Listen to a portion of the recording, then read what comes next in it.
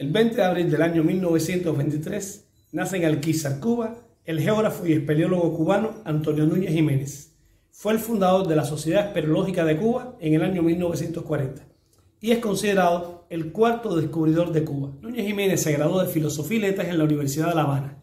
Fue presidente de la Academia de Ciencias de Cuba y participó en numerosas expediciones, por ejemplo, al Polo Norte, a la Antártida, los Andes, China, África, las Islas Galápagos, la isla de Pascua en Chile, Venezuela y otras partes del mundo. En los años 1987 y 1988, Núñez Jiménez dirige la expedición en canoa del Amazonas al Caribe.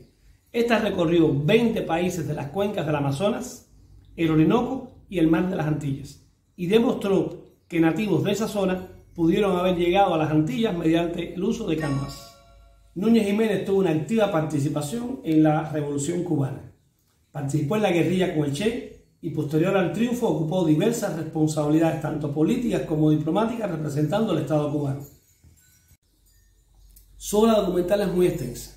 Publicó más de 190 libros y más de 1.665 artículos científicos.